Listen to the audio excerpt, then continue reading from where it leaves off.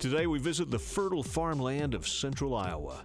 Dwight Krieger, general manager of Knight Rifles, shows Buckmasters gun hunter editor Larry Teague Knight's newest creation, the 50 caliber Revolution rifle.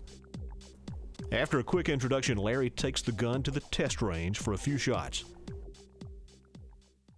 At dawn the next day, Larry is set up in a bottom where two trails intersect and lead back into the thick cover.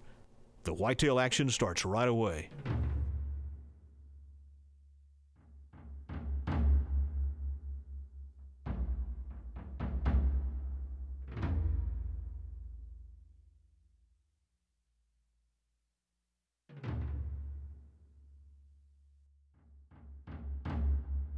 A short while later, Larry catches some movement on the trail behind him.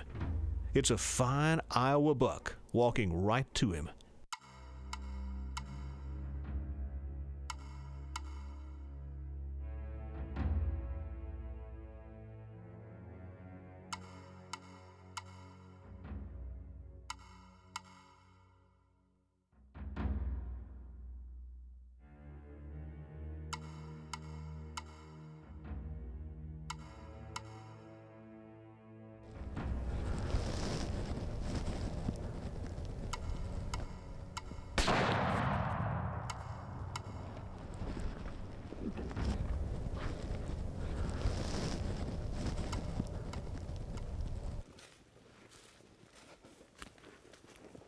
Well,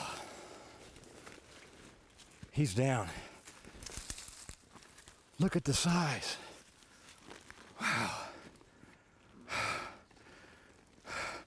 This deer didn't go far, probably about just a short ways away, and he was he's down for keep.